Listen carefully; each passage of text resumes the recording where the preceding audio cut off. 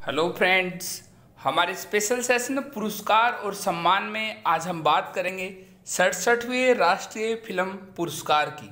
हम आपको पहले बताएँगे, भारत में कब शुरू हुए राष्ट्रीय फ़िल्म पुरस्कार और उसके बाद बताएँगे, हाल ही में सड़सठवें राष्ट्रीय फ़िल्म पुरस्कार किसे मिले हैं और बताएँगे एग्जामिनर आपसे एग्ज़ाम में कैसे क्वेश्चन पूछेगा। हम आपको बता दें, देश स्वतंत्र होने के पश्चात कला संस्कृति, सिनेमा और साहित्य आदि को प्रोत्साहित करने और श्रेष्ठ कार्य करने वालों को पुरस्कृत करने की आवश्यकता के अंतर्गत विभिन्न समितियों का गठन किया गया। हुनी में सन उन्नीस सौ उनचास में गठित एक समिति, इंक्वायरी समिति भी थी। इस समिति ने शिक्षा, संस्कृति के मूल्यों को लेकर बनी सर्वोत्तम फ़िल्मों को प्रतिवर्ष राजकीय पुरस्कार से पुरस्कृत करने की सिफारिश की गई थी, जिसे उच्च तकनीक की अच्छी फ़िल्मों के निर्माण को प्रोत्साहन मिल सके। और उसी राज्य के पुरस्कार को आज कहते हैं राष्ट्रीय फ़िल्म पुरस्कार।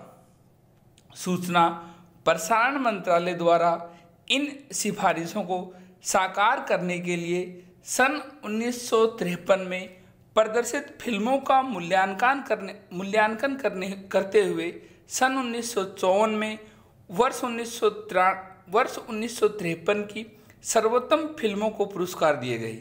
इस तरह देश में राष्ट्रीय फ़िल्म पुरस्कारों की शुरुआत सन उन्नीस सौ चौवन में हुई थी।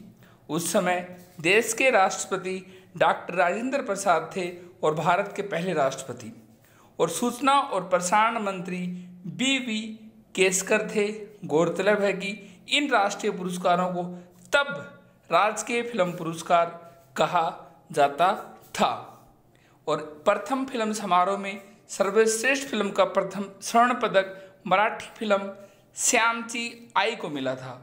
और सर्वश्रेष्ठ वर्त चित्र का स्वर्ण पदक महाबली महाबलीपुरम को दिया गया था।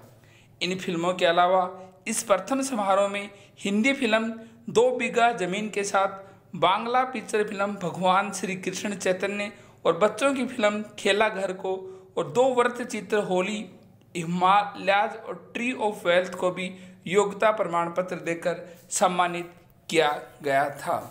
बताते हैं हम आपको, हाल ही में सड़सठवें राष्ट्रीय फ़िल्म पुरस्कार किसे मिले हैं? हम आपको बता दें राष्ट्रीय फ़िल्म पुरस्कार सड़सठवें के समारोह का आयोजन नेशनल मीडिया सेंटर में किया गया था। समारोह में फ़िल्म छिछोरे को बेस्ट फ़िल्म का अवार्ड मिला है। वहीं मनोज वाजपेयी को बेस्ट एक्टर तो कंगना रनौत को बेस्ट एक्ट्रेस का अवार्ड मिला है। वहीं best supporting actress Pallavi Joshi को मिला है। हम आपको बता दें एग्जामिनर आपसे पूछेगा, सड़सठवें राष्ट्रीय फ़िल्म पुरस्कार में बेस्ट फ़िल्म का अवार्ड निम्नलिखित में से कौन सी फ़िल्म को मिला है? तो आपका आंसर होगा छुछेरे छिछोरे जो कि एक्टर सुशांत सिंह की थी, जिनकी मृत्यु हो चुकी है।